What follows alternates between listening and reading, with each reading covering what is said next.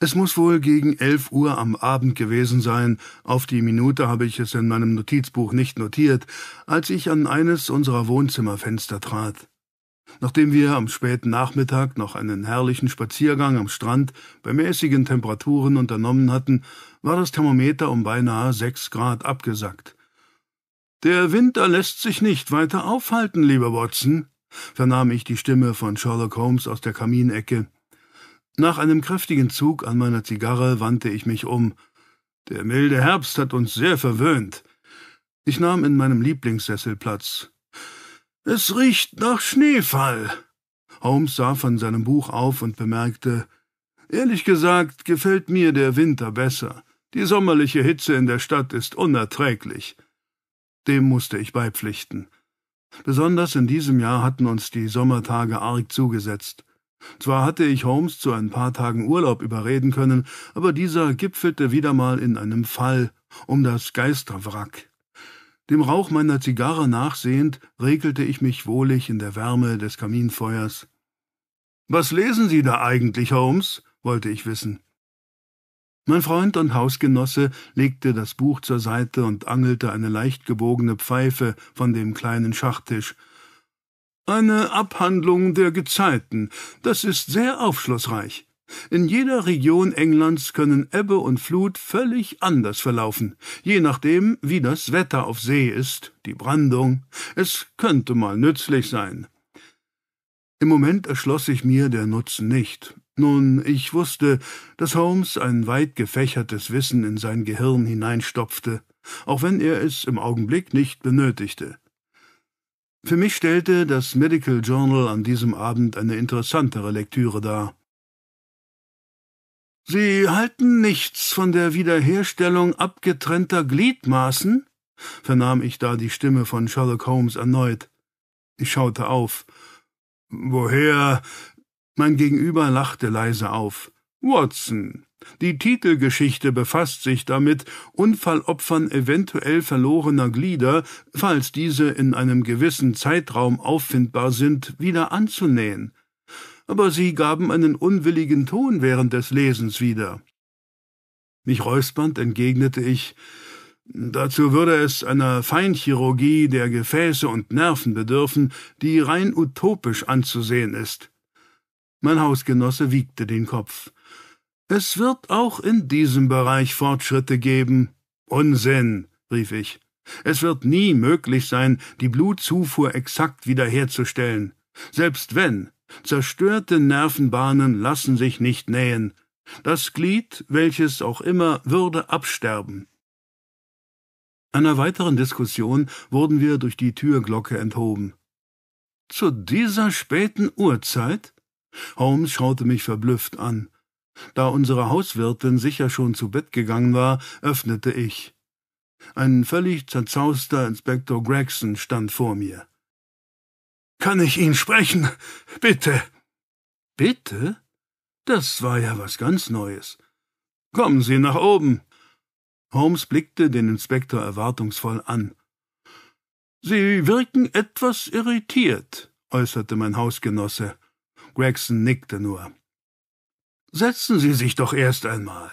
Cognac? Während ich sprach, ergriff ich bereits drei Gläser. Dankend nahm der Inspektor an. Also, wo drückt der Schuh? wollte Holmes wissen und setzte seine Pfeife neu in Gang. Der Inspektor fasste in seine Jacketttasche und zog etwas hervor, das in ein Tuch gewickelt war. Das bereitet mir Kopfzerbrechen. Es wurde heute an dem kleinen Strandstück zwischen Dock 4 und 3 angeschwemmt. Wie Sie wissen, hatten wir gestern einen ziemlichen Sturm auf See, der sich auf die Strömung der Themse auswirkte. Wir beugten uns beide vor.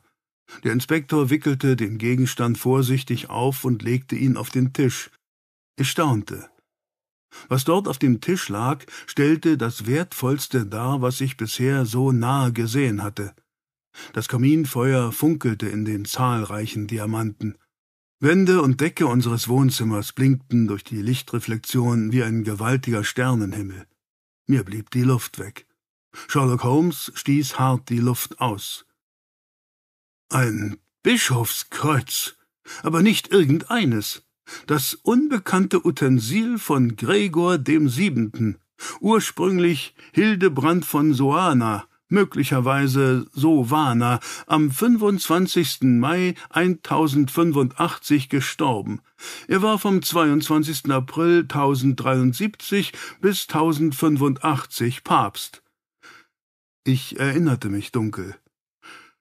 Wegen seiner Bedeutung für die Kirchenreformen des elften Jahrhunderts, die nach ihm auch als gregorianische Reform bezeichnet wird, gilt er als einer der bedeutendsten, allerdings auch schon zu Lebzeiten als einer der umstrittensten Päpste der Kirchengeschichte.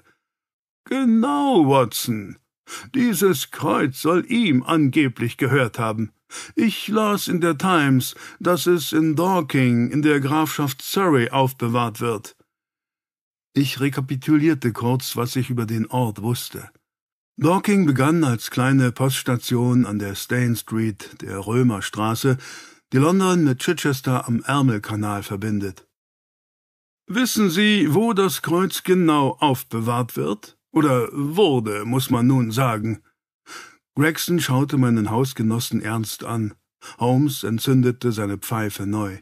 Nach zwei Zügen griff er hinter sich in das Bücherregal und zog einen dicken, recht abgegriffenen Band heraus. Er blätterte eine Zeit lang darin. Hier ist es. Bis 1791 bei Duke of Norfolk. Dann ging der Besitz in eine Seitenlinie über. Die Duchess of Mowbray bewahrte das Kreuz auf. Eine Nachfahrin, Caroline of Mowbray and Salford, ist nach diesem Buch Eignerin seit 1887.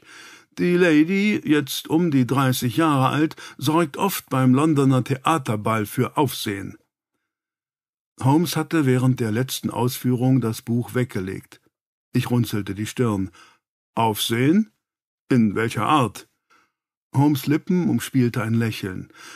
Sie tritt gerne in diversen, sagen wir mal, Verkleidungen auf. Wie ich aus den Seufzerrubriken des Chronicle weiß, kam sie im letzten Frühjahr als griechische Göttin Artemis, im fast durchsichtigen Kleid und barfuß. Die Klatschspalten waren tagelang mit dem Thema befasst. Sounds, entfuhr es mir. Die Aufmerksamkeit war ihr sicher gewiss. Holmes Lächeln wurde zynisch. Die Queen tat so, als nähme sie es nicht zur Kenntnis, aber die Duchess von Kent zeigte sich hysterisch empört. Der Inspektor kicherte. Das kann ich mir denken. Vor hundert Jahren wäre sie unter sehr unangenehmen Bedingungen in den Tower gewandert. Dann wurde er wieder amtlich. Merkwürdig, dass die Duchess von Mowbray and Salford den Diebstahl nicht angezeigt hat. Das fand ich auch. Nicht so Holmes. In diesen Kreisen gibt man sich nicht die Blöße, Scotland Yard um Hilfe zu bitten. Gregson wickelte das Kleinod wieder ein. Ich werde gleich morgen die Duchess aufsuchen. Er trank noch einen Cognac mit uns, dann ging er. Tatsächlich hatte es zu schneien begonnen. Nach diesem Besuch war meine aufkommende Müdigkeit wie weggeflogen. Auch Holmes verfiel ins Grübeln. Aus dem Fenster schauend sah ich dem immer dichter werdenden Schneefall zu. Gregson will also morgen nach Surrey, murmelte ich. Erstens wird er die Duchess dort nicht antreffen, zum anderen wird das Kreuz sicher nicht von dort aus in die Themse gekommen sein. Holmes sagte das völlig emotionslos. Ich wandte mich rasch um. Das zweite ist mir klar, aber woher wollen Sie wissen, dass die Duchess nicht zu Hause ist? Holmes kicherte. Aus dem Chronicle. Die Duchess weilt zurzeit hier in London, in ihrem Stadthaus. Sie werden es schon einmal gesehen haben, Watson, nahe der Oper. Ich runzelte die Stirn. Teufel! Doch nicht das Haus, das einem ägyptischen Tempel ähnelt? Holmes bestätigte das. Genau dieses. Deshalb werden wir morgen dort einen Besuch machen.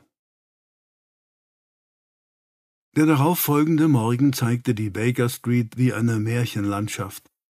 Eine feste Schneedecke verhüllte alles, die Hufe der Pferde und das Rollen der Kutschen drangen nur gedämpft zu uns herauf. Ich denke, wir sollten einen erfrischenden Spaziergang zum Haus der Duchess machen, rief Sherlock Holmes fröhlich nach dem Frühstück aus. Nun, ich hatte keine Einwände. Es war herrlich, über diesen frischen Schnee zu gehen und die kühle Luft zu atmen. Leider würde in wenigen Stunden durch die Kutschen diese Pracht zu Schlamm verwandelt worden sein. Nach einer Dreiviertelstunde erreichten wir ein pompöses Haus, dessen Eingang bereits von weitem aus den anderen Anwesen herausragte. Es war auffällig. Das musste man einfach so sagen. So ein Portal hätte man eher in Luxor oder dem antiken Memphis erwartet. Holmes blieb andächtig einen Moment davor stehen. Nachdem wir an der tempelartigen Tür geklopft hatten, es gab einen dumpfen Widerhall wie von einer Pauke, wurde geöffnet. Mir blieb die Luft weg. Holmes hielt sich unter Kontrolle, mühsam, wie ich bemerkte. Ein muskulöser Mann öffnete uns die Tür. Durch die Hilfe von Haargel trug er eine straffe Frisur. Seine athletische Brust zeigte sich tiefbraun doch er trug nur einen winzigen weißen Lendenschurz, der kaum etwas bedeckte. Ich räusperte mich. Holmes schien das alles zu übersehen. Mein Name ist Sherlock Holmes, und die Duchess wird über meinen Besuch froh sein. Na, dachte ich, das wird sich zeigen. Der Bursche musterte uns mit unbewegtem Gesicht, dann machte er eine einladende Armbewegung. Dabei glitzerte das Tageslicht in den goldimitierten Spangen an den Oberarmen. Mit sanftem Geräusch schloss sich die Tür, und dieser Mensch schritt uns voran, wobei merkwürdige helle Glockentöne entstanden. Mein Gott, Holmes, flüsterte ich, was ist das hier für ein Sündenbabel? Holmes sagte nichts dazu. Durch eine große Marmorhalle, an deren Wänden zahlreiche Fackeln brannten, erreichten wir einen Raum, der durch ein Kuppeldach Licht durchflutet wurde. Der fallende Schnee rutschte in diesem Moment seitlich von der Außenwölbung ab. Darunter befand sich ein hellblau schimmerndes Wasserbecken, in dem sich vier, ich musste schlucken, nackte Mädchen tummelten. Mein Inneres rebellierte. Wie konnte die Queen so etwas in London zulassen? Dann sahen wir die Duchess selbst. Sie lag halb hingestreckt auf einem Divan mit Baldachin, in der Kleidung einer Pharaonin, in der Hand einen Becher und sah uns freundlich an. Der Bursche, der uns die Tür geöffnet hatte, sank vor ihr in die Knie und sagte leise Herrin, Sherlock Holmes möchte Sie sprechen. Die Duchess würdigte den Mann keines Blickes, sondern unternahm nur eine lässige Handbewegung, als verscheuche sie eine Fliege. Der Bursche trollte sich. Ich wusste wirklich nicht, was ich davon halten sollte. Fröhlicher Lärm drang aus dem Schwimmbecken. Die Duchess klatschte mehrfach in die Hände und es kehrte Ruhe ein. Dann deutete sie auf zwei antike Sessel. Allein die handgeschnitzten Lehnen mussten ein Vermögen gekostet haben. Sie richtete sich etwas auf und stützte den Kopf mit dem blau-schwarzen Haar in die rechte Handfläche des angewinkelten Armes. Seien Sie mir willkommen, meine Herren, sagte sie mit melodischer Stimme. Santos, Wein für unsere Gäste, rief sie dann herrisch. Ich wollte ablehnen, bekam aber keine Gelegenheit dazu. Milady, begann Holmes leise, ist Ihnen das Kreuz von Gregor dem Siebenten ein Begriff? Die Lady runzelte leicht die Stirn. Wenn ich mich recht erinnere, wurde so etwas in unserer Familie gehütet. Ich habe mich nicht sehr für so etwas interessiert. Holmes schürzte die Lippen. Der Tradition nach wären Sie dafür verantwortlich. Die Duchess winkte ab. Mein Sekretär verwaltet solche Dinge. Holmes nickte. Das Kreuz wurde gestern am Themsestrand gefunden. Nun hob die Lady doch erstaunt die Augenbrauen. Wo kann ich Ihren Sekretär finden? Kleopatra klatschte wieder zweimal in die Hände, und ein sehr spärlich bekleidetes Mädchen eilte heran. Wo hält sich Charles im Moment auf? herrschte die Dame des Hauses das Mädchen an Soviel ich weiß, im Residenzhotel, Herrin. Die Duchess lächelte uns nun wieder an. Das Hotel gehört mir, und Charles Bigham ist dort ebenfalls Geschäftsführer. Holmes erhob sich, ich tat es ihm gleich und bemerkte, sich verbeugend, ich danke Ihnen, Milady.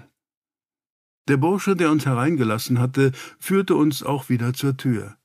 Wieder vernahm ich bei jedem seiner Schritte das Glöckchen. Vor der Tür holte ich erst einmal tief Luft. Teufel, Holmes, was war das eben? Mein Freund und Hausgenosse kicherte. Äußerst exzentrisch, die Dame. Ich rollte mit den Augen. Äh, mehr, mehr fällt Ihnen dazu nicht ein? Holmes schüttelte den Kopf und begann seelenruhig seine Pfeife neu zu stopfen. Das geht uns nichts an, guter Freund. Also, meine moralische Empörung fand keine Grenze. So etwas in unserem guten Empire. Was würde die Königin zu so etwas sagen? Holmes klopfte mir auf die Schulter. Er schien meine Gedanken zu erraten. Lassen Sie es gut sein, lieber Watson. Die Queen wird es nicht wissen und auch nicht ändern können. Kommen Sie zum Residenzhotel. Dort erklärte man uns, dass Charles Bigham seit vier Tagen nicht aufgetaucht sei. Haben Sie die Duchess in letzter Zeit gesehen? fragte Holmes den Rezeptionisten des vornehmen Hotels. Bedauere, Sir, sie ist sehr, sehr selten hier. Soweit ich es von Mr. Bigham mitbekommen habe, soll Ihre Ladyship sich auf ihrer Yacht in der Gegend von Sumatra aufhalten. Holmes bedankte sich. Auf der Straße blieben wir vor dem plötzlichen Schneegestöber geschützt unter dem Vordach des Eingangs stehen. Was bezweckte diese Frage nach der Duchess? wollte ich wissen. Holmes führte ein Streichholz an den Pfeifenkopf und brummte dabei hm, mir kommt einiges merkwürdig vor. In Bezug auf eher abartig, obszön. Holmes lachte auf. Verehrter Watson, Sie denken doch nicht, dass ich auch nur eine Sekunde an dieses Schmierentheater geglaubt habe. Nun stieß ich doch einen verblüfften Ruf aus. Mein Freund und Hausgenosse klopfte mir auf die Schulter. Wir haben gesehen, was wir sehen sollten. Ich wischte mir eine Schneeflocke aus dem Gesicht. Thunder! Wie soll ich das denn nun interpretieren? Holmes paffte ein paar mächtige Rauchwolken, die im Wind wie Phantome vergingen. Guter Watson, denken Sie einmal nach. Ein sehr wertvolles Kreuz wird gefunden, angeblich aus dem Besitz von Gregor dem Siebenten. Jedoch bezweifle ich, dass es zu seinen Lebzeiten diese Art Handwerksarbeit gab. Nein, nein, das Kleinod entstammt der Renaissance. Aber Gregson sagte doch, Holmes winkte ab, er weiß nichts. In den Chroniken von Surrey, ich zitierte ja nur daraus, befindet sich eine gute Beschreibung des Kreuzes. Und sicherlich wird oder wurde es auch dort aufbewahrt. Das Fundstück ist ihm auch äußerst ähnlich, doch die Verarbeitung passt nicht. Das ist es, was mich an der Sache neugierig macht. Sonst hätte ich den Fall bereits Scotland Yard überlassen. An der ganzen Angelegenheit ist etwas Besonderes. Der Schneefall nahm zu. Was ist mit der Lady und dem Haus? Jemand weiß, dass dieses Kreuz gefunden worden ist und bereitet sich auf eine bestimmte Kulisse vor. Ich weiß im Moment auch noch nicht mehr. Er pfiff eine Droschke heran. Zu meinem Erstaunen nannte Holmes noch einmal die Adresse des Hauses der Duchess. Dauert etwas länger bei dem Schnee, brummte der Kutscher. Trotzdem verlief die Fahrt recht zügig. Das Haus lag einsam da. Auch sah ich am Eingang keine Beleuchtung mehr. Holmes bat den Kutscher zu warten. Er stieg aus und ging auf das Haus zu. Er horchte an der Haustür, dann verschwand er hinter einer Hecke. Nach zehn Minuten kehrte er zurück, ein diabolisches Lächeln umspielte seine Lippen. Auf Fragen gab er nur eine ausweichende Antwort, froh, als wir nach dem Mittag wieder in der Baker Street ankamen. Aufatmend sank ich in meinen Sessel. Die wohlige Wärme des Kamins tat meinen Knochen gut. Ist es erlaubt zu fragen, an wen das Telegramm adressiert ist? Holmes hatte den Mantel an den Garderobenhaken gehängt und schritt zum Bücherregal hinüber. Er entnahm ihm zwei Gläser und eine Flasche Sherry. An einen Freund bei der französischen Polizei. Ich stellte mich an den Kamin und rieb mir die kalten Hände. Aha, und mein Freund schenkte Sherry ein und bemerkte, Jetzt muss ich abwarten, ob meine Überlegungen in die richtige Richtung gehen. Spekulieren ist der Tod jeder Ermittlung. So begab ich mich denn in Geduld. Mrs. Hudson kredenzte uns gerade frischen Kaffee, was ich sehr begrüßte, als Inspektor Gregson erneut auftauchte. Er berichtete, dass er die Duchess nicht angetroffen habe. Angeblich sei sie mit ihrer Yacht unterwegs. Etwas, das wir bereits wussten. Der Inspektor wollte sich eben zum Gehen wenden, als sein Kollege Lestrade uns ebenfalls aufsuchte. Erstaunt sah er zu Gregson. Sagen Sie nur, Sie brauchen auch mal Hilfe. Gregson verzog leicht die Mundwinkel. Holmes beschwichtigte mit einer Handbewegung. Lestrade, was kann ich für Sie tun? Eine Leiche wurde bei den Docks angespült. Alle vier fuhren wir bei dichtem Schneetreiben, der Kutscher fluchte darüber, zum Fundort der Leiche.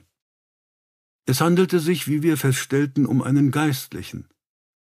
Herrje, wer bringt einen Kleriker um? Holmes lachte zynisch. Seit Jahrhunderten lebt diese Spezies gefährlich, Watson.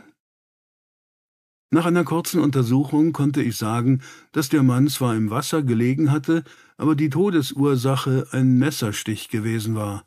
Holmes nickte.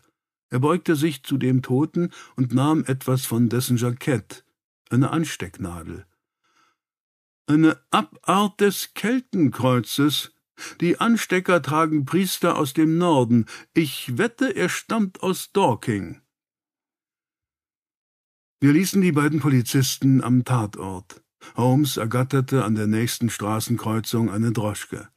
Holmes Vermutung bestätigte uns eine Telegrammanfrage recht schnell. Die Antwort erwartete uns schon in der Baker Street. Gleichfalls eine Antwort auf Holmes erste Depesche. Die Galleon ist wohl vor vier Monaten im Sturm gesunken. Heimathafen Marseille. Das Schiff gehört einem Samuel dem Dritten Lord of Dorking Manor, ein Nachfahre der Dukes of Norfolk. Holmes rieb sich die Hände. Ich bin auf der richtigen Spur. Mir fehlt nur noch ein Hinweis. Ich schaute ihn fragend an. Mein lieber Watson, bitte sehen Sie doch im Kursbuch nach, wann morgen ein Zug nach Dorking fährt. Durch den Schriftsteller Daniel Defoe wurde der Ort in ganz England bekannt. Ein beschauliches Örtchen, in das die Hektik der Großstadt noch nicht eingezogen war. Vom Bahnhof aus schritten wir strammen Schrittes zur etwas abseits gelegenen Kirche. Wir klopften am Pfarrhaus an, und eine ältliche Dame öffnete uns. Auf unsere Frage erklärte sie Father Henry ist nach London gereist. Oh. Holmes tat enttäuscht. Er hatte uns gebeten, vorbeizukommen. Die Dame blickte uns erst kritisch an, dann meinte sie Ja, kommen Sie doch herein. Ich bin Mrs. Jessen, die Hausdame des Pfarrers. Sie berichtete uns, dass Father Henry vor einer Woche Besuch von der Duchess of Mowbray in Salford erhalten hatte. Sie müssen wissen, er ist auch der Beichtvater der Lady. Wir nahmen in einer Sitzecke Platz, und Mrs. Jessen servierte uns frischen Tee. Sagen Sie, begann Holmes, wie kam denn Father Henry mit, äh, wie soll ich sagen, den Ausschweifungen der Lady klar? Mrs. Jessen setzte sich auf die Eckbank und blickte nachdenklich zu Boden. Das äh, ist merkwürdig. Das Verhältnis war sehr vertraulich. Sie verstanden sich sehr gut. Doch manchmal hörte ich ihn in seinem Arbeitszimmer schimpfen. Wie das? wollte Holmes wissen. Mrs. Jessen wand sich etwas. Äh, dann rief er so etwas wie Das verfluchte Luder, sie hat es wieder getan. Aha, machte mein Freund. Mrs. Jessen fuhr fort.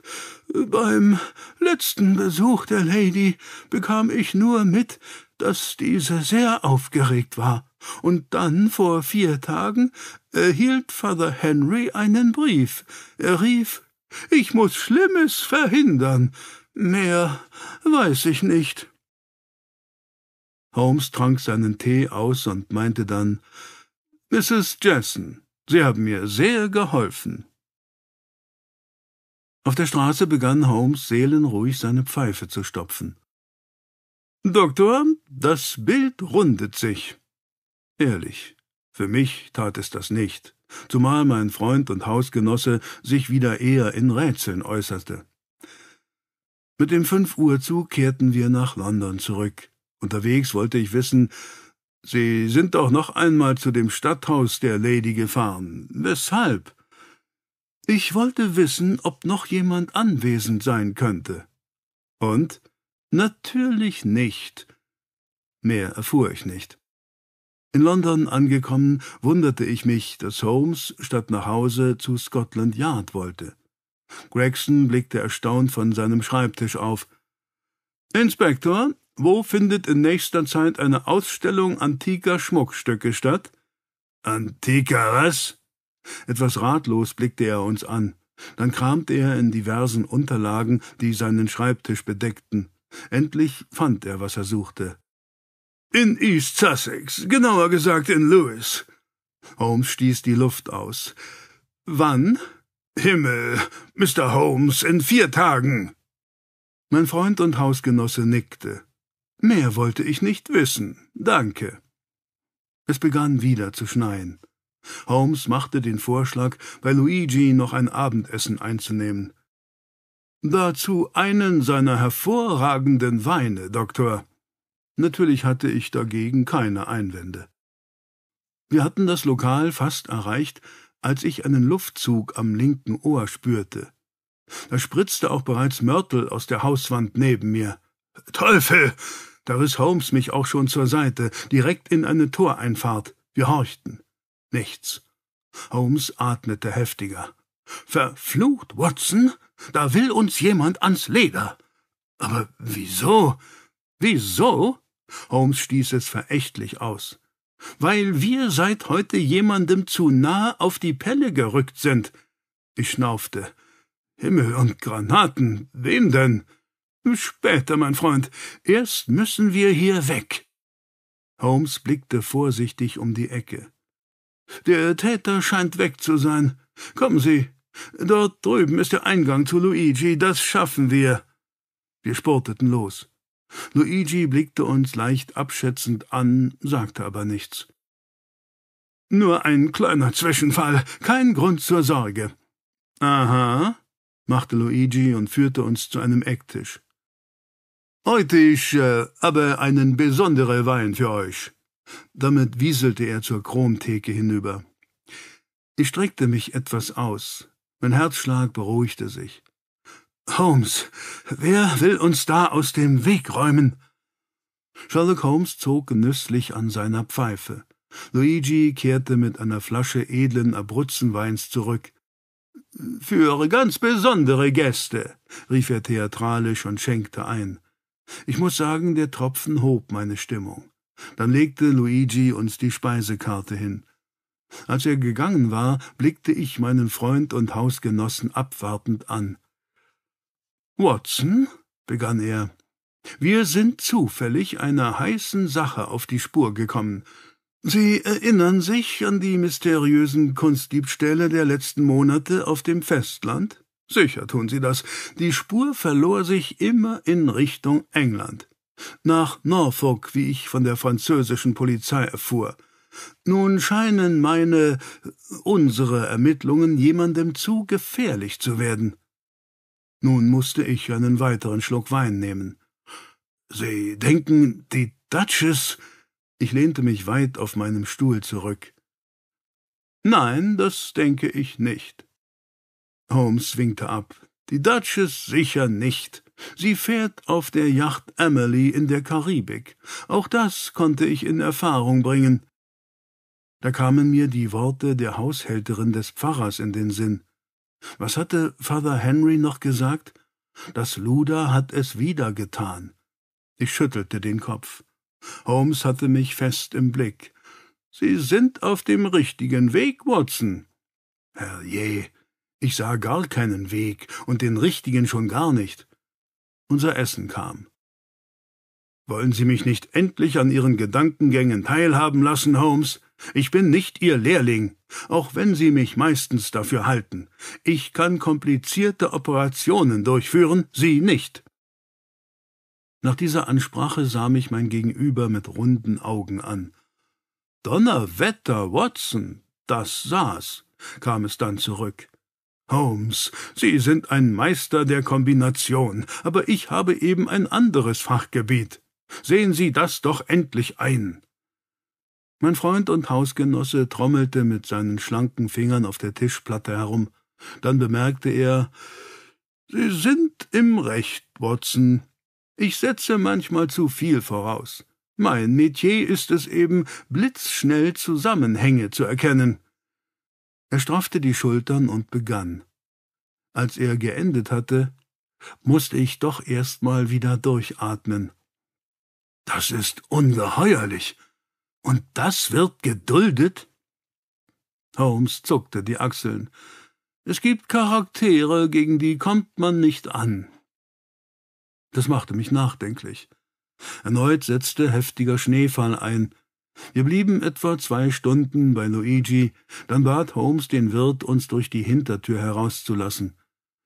Wir müssen vorsichtig sein, Watson, in der Baker Street lenkte Holmes seine Schritte in eine schmale Einfahrt etwa fünf Häuser vor unserer Wohnung.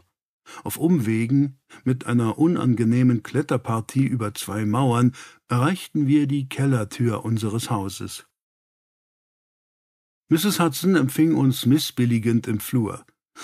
Was haben Sie beide wieder angestellt? fragte sie tadelnd.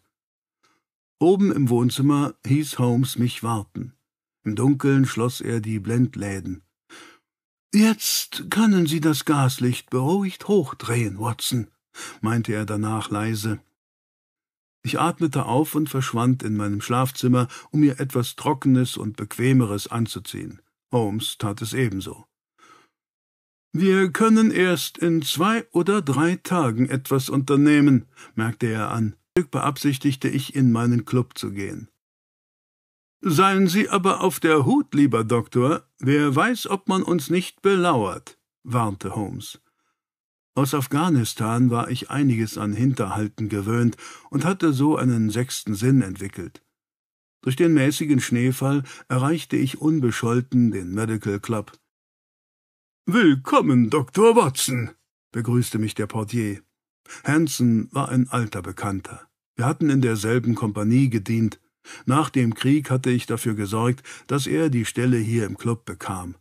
Das hatte zur Folge, dass ich mich von meinem ehemaligen Doktorvater zum Beitritt in den Club breitschlagen ließ. Watson, wenn Sie in Ihrem Leben noch etwas erreichen wollen, dann müssen Sie hier eintreten. Die Worte hatte ich noch im Ohr. Nun, etwas erreichen. Ich will nicht undankbar sein. Ich besaß eine kleine Praxis in Paddington, die ich für ein paar Tage in gute Hände gegeben hatte. Ein pensionierter Kollege war gern bereit, mich zu vertreten. Wieder ein Fall mit Mr. Holmes? hatte er schmunzelnd gefragt, als ich ihn um die Vertretung bat. Er wusste, dass Holmes mich gerne als Begleiter bei seinen Unternehmungen dabei hatte. Seit dem Tod meiner Frau Mary wohnte ich auch wieder in der Baker Street.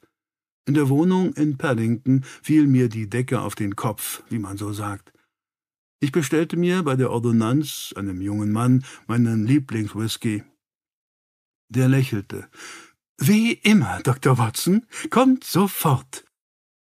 Ich bedankte mich und griff zum Zeitungsständer. Dort fand ich diverse medizinische Fachzeitschriften. Mein Getränk kam, und ich hatte eben genüsslich einen Schluck genommen, als mich jemand ansprach. Dr. Watson? John Watson? Ich schaute auf. Ein großer, wohl vierzigjähriger Mann mit schlohweißem Bart stand vor mir. Ja, bitte? Mein Name ist Dawson. James Henry Dawson. Darf ich mich einen Moment setzen? Ich machte eine einladende Handbewegung. Bitte? Der Gast, ich kannte ihn nicht und hatte ihn vorher auch noch nie gesehen, ließ sich in den Ledersessel neben mir sinken. Bei der Ordonnanz bestellte er sich einen irischen Whisky. Sie sind Mitglied hier oder hat Sie jemand in den Club eingeführt? wollte ich wissen. Dawson lächelte. Sagen wir es so. Ich bin heute ein besonderer Gast, Dr. Watson. Der Whisky kam. Dawson erhob das Glas und prostete mir zu, dann musterte er mich interessiert. Ich runzelte die Stirn. Können Sie Ihre Aussage etwas genauer definieren? Dawson beugte sich etwas vor. Gern? Er nahm noch einen Schluck, stellte das Glas weg und schlug die Beine lässig übereinander. Die Sache ist so. Ihr Freund, Sherlock Holmes, ermittelt in einer Sache, die, ähm, wie soll ich es ausdrücken, delikat ist, vor allem gefährlich. Ich bin hier, um zu vermeiden, dass jemand zu Schaden kommt. Daher ersuche ich Sie, Doktor, Mr. Holmes zu raten, nicht nach Lewis zu fahren. Ich straffte mich. Mr. Dawson, falls Sie so heißen, ich denke nicht, dass sich Sherlock Holmes in dieser Art beeinflussen lässt. Ich sagte das mit Nachdruck. Der Fremde sah mich ernst an, dann nickte er. Ein leichter Seufzer entrann ihm.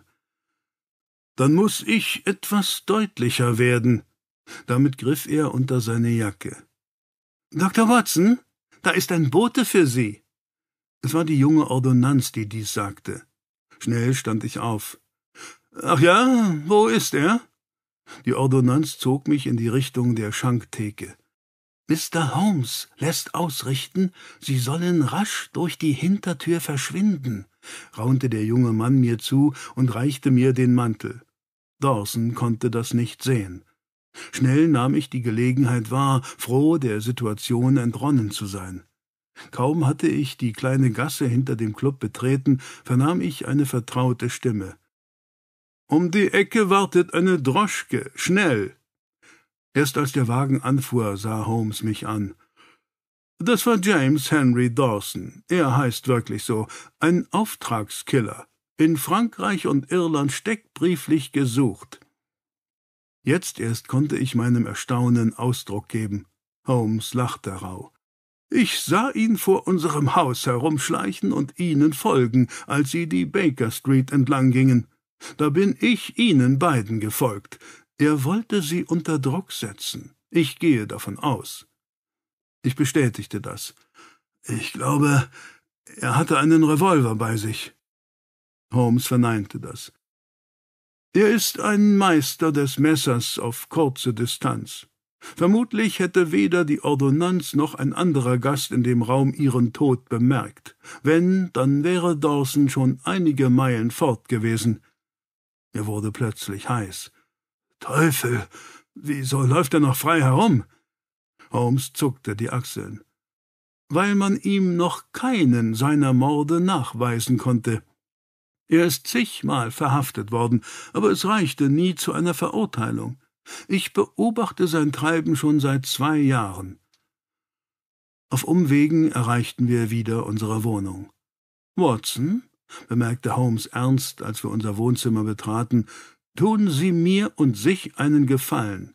Gehen Sie die nächsten zwei Tage nicht aus dem Haus. Falls ich nicht da sein sollte, lassen Sie niemanden ein, Mrs. Hudson habe ich gleichsam instruiert. Während des Ankleidens am folgenden Morgen schaute ich aus dem Fenster meines Schlafzimmers in den tristen Hof.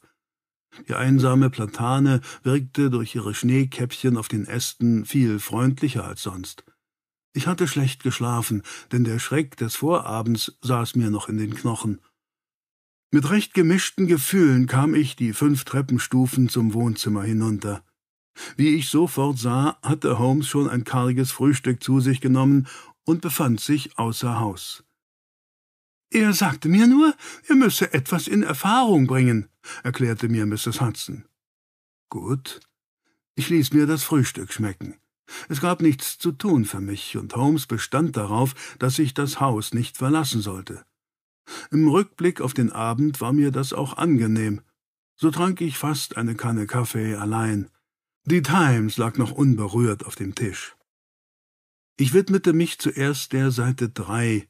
Im Unterhaus gab es wieder einen Schlagaustausch zwischen Robert Arthur Talbot Gascoigne Cecil, dem dritten Marquess of Salisbury, und Stafford Northcott um die Kapunda-Katastrophe. Die Kapunda war ein Eisenklipper, der für die britische Reederei Trinder, Anderson Co. Passagiere und Fracht von Großbritannien nach Australien brachte und dabei hauptsächlich Auswanderer beförderte. Am 20. Januar 1887 sank die Kapunda an der brasilianischen Küste nach der Kollision mit der Bark Ada Melmore. Die Kapunda wurde fast in zwei Hälften geteilt und sank innerhalb von fünf Minuten. Von den 313 Menschen an Bord wurden nur acht Besatzungsmitglieder und acht Passagiere gerettet. 297 Menschen kamen ums Leben. Schuldzuweisungen der Verdacht eines geplanten Anschlags wegen geheimer Waffenlieferungen. Ich blätterte weiter. Ein medizinischer Artikel über Nervenbahnen, der mir eine Ergänzung zum Medical Journal lieferte, fesselte mich dann. Nach einer Stunde legte ich die Zeitung weg, als mein Blick auf den Kriminalberichten hängen blieb. In Heathrow war ein Kunstexperte tot aufgefunden worden. Ein gezielter Messerstich ins Herz. Eigenartigerweise wurde nichts gestohlen. Sie haben den Bericht gefunden? erklang da Holmes' vertraute Stimme von der Tür. Unwillkürlich war ich zusammengezuckt, da ich zu sehr in den Artikel vertieft gewesen war, um die Wohnungstür zu hören. Holmes warf den Alster über den Garderobenhaken, schritt zum Kamin und rieb sich die klammen Hände. Ich war am Tatort. Die Zeitung sah nicht, Holmes winkte ab. Ich hatte mit Grover Sams schon zu tun, ein kleiner Ganove, aber eine Kapazität auf seinem Gebiet. Mit ihm wollte ich sprechen. Doch da war es bereits passiert. Vermutlich war er der Grund, weshalb Dawson in London weilte. Wir lagen nur mit auf dem Weg. Ich fuhr mir durch das Haar. Weshalb sollte Dawson ihn umbringen? Holmes griff eine Pfeife vom Kaminsims. Ich denke, er wurde für eine Expertise zu Rate gezogen und sollte dann nichts ausplaudern. Bestimmte Leute sind skrupellos. Hat das etwas mit unserem Fall zu tun? Meine Stimme klang heiser. Holmes füllte Tabak aus dem persischen Pantoffel in den Pfeifenkopf. Davon gehe ich aus, Doktor.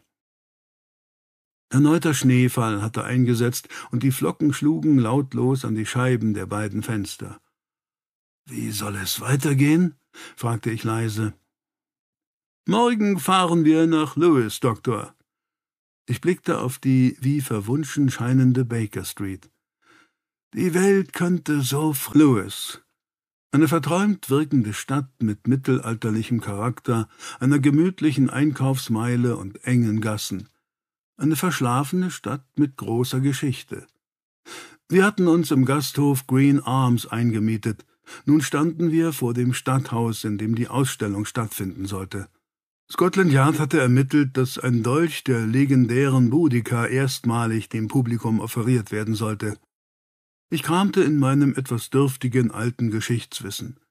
Es handelte sich um eine britannische Königin und Heerführerin, die in den frühen Jahren der römischen Besetzung Britanniens den letztlich erfolglosen Aufstand um 60 nach Christi anführte.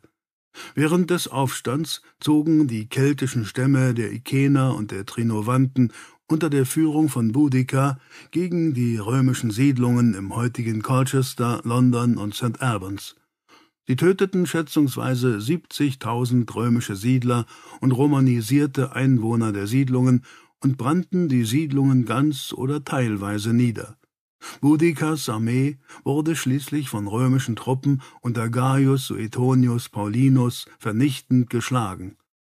Der Dolch hat einen Schätzwert von etwa sechzigtausend Pfund, erklärte mir Holmes.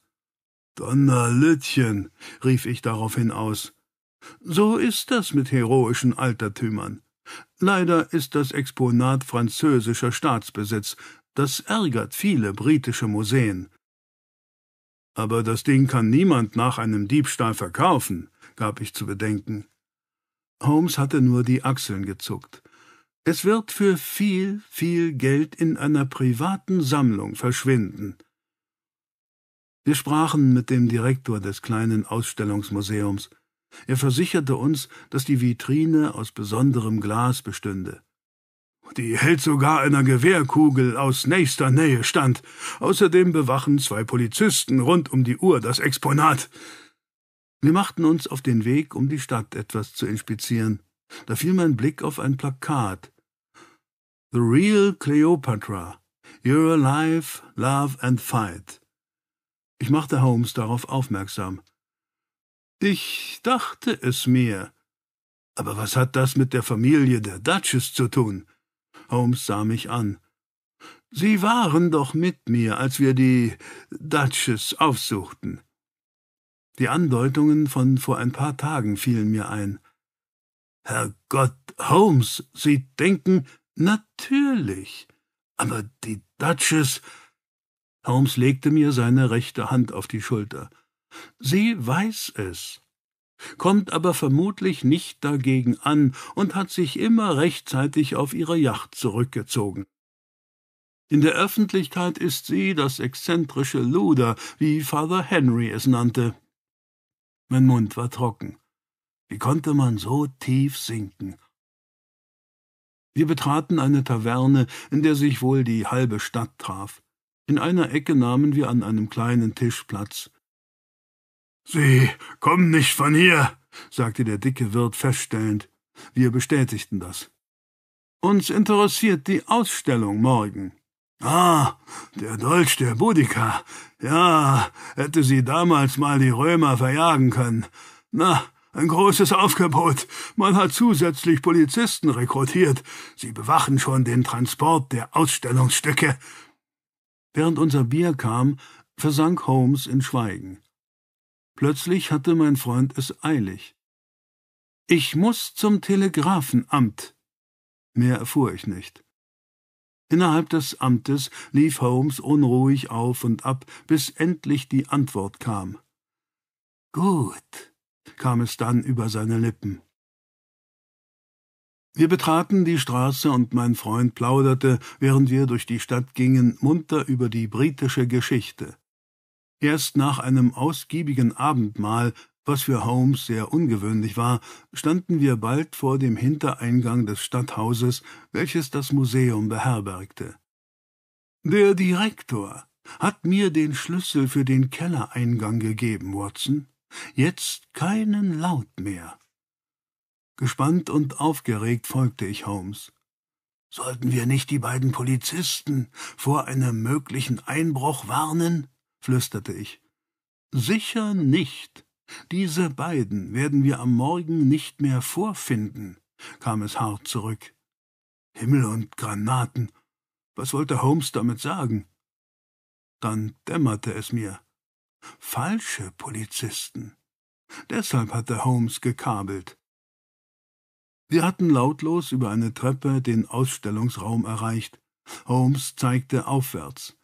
Ich folgte seinem Finger und sah mattes Licht durch eine Glaskuppel dringen. Mein Freund und Hausgenosse machte das Zeichen des Schweigens. Da. Waren da nicht Schatten? Oben an der Kuppel? Einer der Polizisten lief von der Vitrine zu einer Wand. Ich vernahm ein metallisches Knacken. Dann öffnete sich ein Teil der Kuppel. Wie Phantome schwebten drei barfüßige Gestalten abwärts zwei Frauen in einem nur aus dünnem Tuch bestehenden Gewand. Trapezkünstler, die die Lady um sich geschart hat. Erinnern Sie sich an das Haus in London, an den Anbau, in dem unsere Kleopatra residierte? Dort hat man das geübt. Ob der gehauchten Worte wurde mir heiß. Kaum waren die Gestalten auf dem Boden aufgekommen, ließ Holmes seine Trillerpfeife ertönen. Die Haupttür zum Saal öffnete sich und acht Bobbys stürmten herein. Mit ihnen Inspektor Gregson. Eine der Einbrecherinnen hangelte sich blitzschnell wieder nach oben. Gregson gab einen Schuss ab. Holmes lief auf die Vitrine zu und steckte etwas in seine Hosentasche, ich sah jedoch nicht, was es war. Unser Zug hielt pünktlich in Paddington. Holmes pfiff eine Droschke herbei. Zu meinem Erstaunen nannte er nicht die Baker Street als Ziel. Mein Freund und Hausgenosse stieß wahre Dampfwolken aus seiner Pfeife aus. Unruhig scharrte er mit den Füßen. Holmes, was ist los? Wir müssen uns eilen, Doktor. Kutscher, schneller! Wir rasten durch die Nacht. Bald kam mir die Straße bekannt vor. Ich schaute aus dem Seitenfenster und sah das Haus der Duchess. Eine Kutsche fuhr eben an. Holmes hatte es auch bemerkt und ließ unseren Wagen halten. Nur eine Spur gab es in der jungfräulichen Schneedecke. Kommen Sie, Watson, zum Finale! Holmes stieß es grimmig aus. Anstatt zur Haustür zu gehen, nahm er den Weg durch eine Lücke in der Hecke. Schnee wirbelte mir ins Gesicht. Über einen schneebedeckten Rasen erreichten wir eine Terrasse. Holmes schob sich seitlich heran und winkte mir dann. Ich schaute durch das zum Teil gefrorene Glas und staunte. Zweimal die Duchess. Holmes nickte. Die Zwillinge zusammen. Ich dachte, die Duchess sei, das dachte ich auch, Doktor, aber die Sachlage ist völlig anders. Holmes betätigte die vereiste Klinke. Die Tür öffnete sich lautlos. Wir haben einen Termin. Meine Yacht läuft mit der Flut aus. Meine Damen, Sie werden Ihre Pläne ändern müssen. Völlig verdattert sahen beide Frauen zu uns. Guten Abend, grüßte Holmes freundlich doch sein Gesichtsausdruck blieb ernst. Es hat einen Moment gedauert, bis ich dahinter kam, dass ihre Zwillingsschwester, Duchess, er wandte sich an die Dame im dunkelroten Kleid, und sie gemeinsame Sache machen. Er richtete den Blick auf die Dame im feuchten Cape. Lady Marjorie, Sie sind eine glänzende Artistin. Mit ihrem Kleopatra-Theaterzirkus reisen sie durch die Kontinente. Immer sind sie vor Ort, wo besondere Kunstwerke offeriert werden. Sie stehlen diese und ihre Schwester Caroline sorgt dafür, dass die Beute mit ihrer Yacht schnell außer Landes gebracht werden kann, um sie an Sammler irgendwo in der Welt meistbietend zu verkaufen. Sie, Lady Marjorie, sorgen mit Ihren, sagen wir mal, ominösen öffentlichen Auftritten dafür, dass man die Duchess für skurril hält. Aber es war nicht Caroline. Während sich die Klatschpresse mit diesen merkwürdigen Auftritten befasste, konnte die Duchess in Ruhe den nächsten Coup vorbereiten. Keiner wäre auf die Idee gekommen, zwischen den Kunstdiebstählen und ihnen beiden eine Verbindung herzustellen zumal die Öffentlichkeit gar nichts von den Zwillingen wusste. Nur Father Henry wurde es zu bunt, als Dawson gefährliche Mitwisser aus dem Weg räumte. Unruhig wurden sie beide, als Scotland Yard die Kreuznachbildung am Themsestrand fand. Einer ihrer Mitarbeiter, Lady Marjorie, hatte das Kreuz gestohlen und wollte auf eigene Rechnung dieses zu Geld machen. Er verschwand aus Marseille. Aber der kleine Kutter überlebte den Sturm nicht. Die Gallien, richtig? Sie fuhr vor den Docks auf eine Sandbank und kippte um. Niemand überlebte.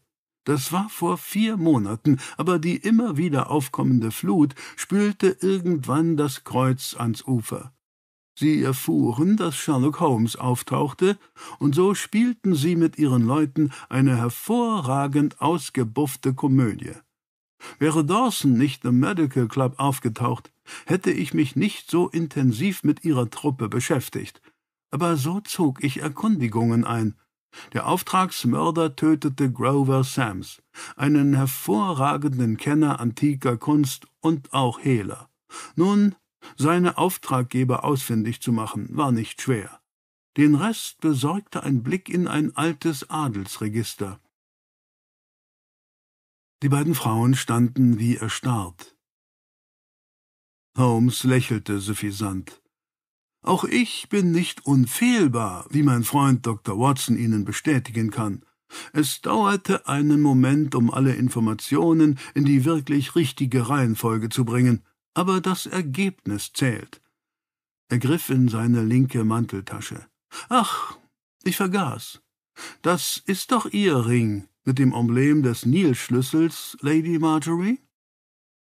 Der blitzschnellen Bewegung der Duchess konnte ich mit den Augen kaum folgen. Tut mir leid, Mr. Holmes, aber wir müssen uns jetzt verabschieden. Die Stimme der Duchess klang emotionslos, als sie den kleinen Revolver auf uns richtete. Holmes zuckte nur müde die Achseln. Meine Damen, das denke ich auch. Eine in das Gefängnis nach Newgate, so denke ich. Glasklar drang die Stimme von Inspektor Gregson durch den Raum. Durch die offene Terrassentür stürmten acht Bobbys auf die beiden Ladies zu. Dem Rauchkringel einer Java-Zigarre nachsehend, streckte ich mich vor dem Kamin in meinem Sessel aus. Eine recht verzwickte Angelegenheit, äußerte ich. Sherlock Holmes lehnte am Kaminsims. Wie Geschosse knallten ab und zu Eiskristalle an unsere Fensterscheiben. Die Kaminuhr schlug die zehnte Abendstunde. Holmes stopfte langsam seine Big Ben mit der Grosvenor-Mischung. Ach, Watson, manchmal braucht es Umwege, um alle Fakten zu ordnen. Ich gebe zu, die erste Information, die wir über Father Henry erhielten, Sie erinnern sich? Das Luder hat es wieder getan. Ich bezog es auf die Schwester der Duchess, aber er hatte die Duchess selbst gemeint. Er wusste um die dunklen Geschäfte der Zwillinge. Ich seufzte. Thunderstorm, lieber Holmes. Das hatten beide doch gar nicht nötig. Die Duchess mit ihrem Vermögen, ihre Schwester mit dieser schlüpfrigen Show. Die eine verdiente genug Geld, die andere hatte es durch ein Erbe. Holmes sackte in seinen Sessel. Wie wir es schon oft erlebt haben, ist dort, wo Geld genügend ist, der Reiz des Meer allgegenwärtig. Holmes zündete seine Pfeife an. Oh Gott, die Langeweile wird wieder über mich hereinbrechen. Kaum hatte er es ausgesprochen, vernahmen wir das kräftige Läuten der Türglocke. Erstaunt sahen wir uns an. Da vernahmen wir, wie Mrs. Hudson öffnete. Wenig später überreichte sie uns ein Telegramm. Aus dem Diogenes Club, murmelte mein Freund und Hausgenosse verblüfft. Er riss den Umschlag auf. Ich schaute Holmes über die Schulter. Brauche dich dringend. Es geht um Leben und Tod. Mycroft. Sherlock Holmes ließ das Blatt